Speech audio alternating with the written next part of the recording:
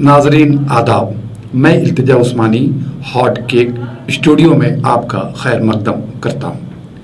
عمران خان نے دنیا کرکٹ میں بطور قیادت، جو نئی جہت اور سمت بخشی اور جس نئے باپ کا اضافہ کیا، آج وہی شخص سیاست کی پچ پر بھی نئی تاریخ رم کرتے ہوئے پاکستان کے وزیر اعظم کے منصب تک جا پہنچا۔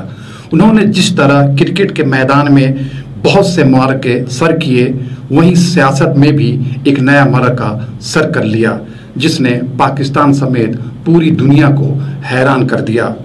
پاکستانی عوام نے سیاست میں بھی انہیں مین آف دی میچ قرار دے دیا۔ عمران خان کی اس کامیابی میں جہاں ان کی جد و جہد شامل ہے، وہیں ان کی ضد کا بھی دخل ہے۔ جو کہتے ہیں، وہ کر گزرتے ہیں۔ جس طرح انہوں نے کھیل کی دنیا میں تہلکہ مچایا، اسی طرح سیاست میں بھی ہنگامہ مچانے کے لیے تیار بیٹھے ہیں۔ پاکستان کے نئے وزیر اعظم عمران خان کی پہچان ہمیشہ اس کرکٹ کپتان کے روپ میں رہے گی جو میدان پر ناممکن کو ممکن بنانے کا مادہ رکھتا تھا۔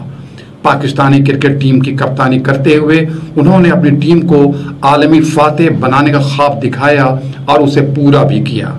اسی کے عشرے میں کئی دگز کھلاڑی بین الاقوامی سطح پر کپتان رہے، لیکن کرکٹ کے میدان پر ایک ہی قائد تھا اور وہ تھا عمران خان۔ جاڑے کی دھوپ اور گرمی میں کھڑکیوں سے آنے والی ہواؤں میں اپنے black and white T V کے آگے دور درشن پر نظریں گڑائے بیٹھے ہندوستانی کرکٹ مدہ یہی سوچا کرتے تھے کہ کاش عمران ان کے کپتان ہوتے۔ دوسرے لفظوں میں آپ عمران کو ایسے شخص کے درجے میں رکھ سکتے ہیں جنہوں نے جو کچھ چاہا اسے حاصل کیا۔ یہ بات ان کے پاکستان ٹیم کو ورلڈ کپ چیمپئن بنانے، ہندوستان خلاف ہندوستان میں ٹیسٹ سیریز جیتنے اور اب پاکستانی سیاست کی بلندیوں پر بیٹھے شخص بننے تک جاری رہی۔ ٹیم انڈیا کے سابق کرکٹر سنجے منجریکر نے اپنے سوانحیات میں لکھا ہے کہ اگر عمران خان ان کے کپتان ہوتے تو وہ بہتر کرکٹر ہوتے۔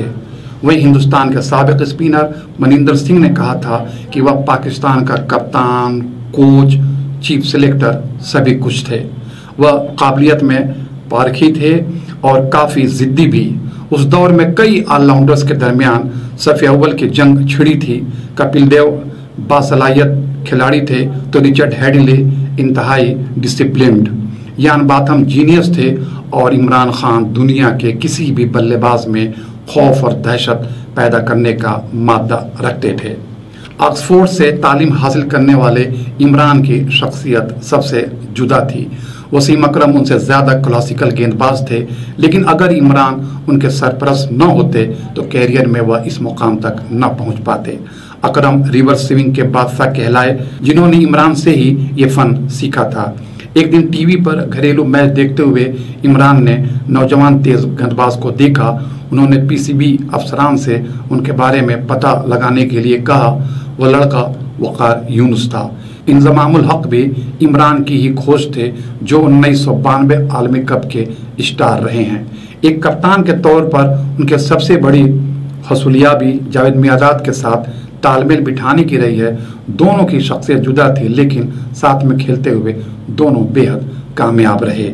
آج اسی کامیابی کی سیڑھی چڑھتے ہوئے عمران خان پاکستان کی سیاست کے سب سے بلند سیڑھی پر جا پیٹ جسے وزیر اعظم کہا جائے گا۔ بطور کھلاڑی جس طرح ہندوستانی عوام میں عمران خان مقبول رہے ہیں، اب دیکھنا یہ ہوگا کہ کیا سیاست کے معاملات میں بھی وہ ہندوستانی عوام کے دلوں میں گھر بنا پاتے ہیں۔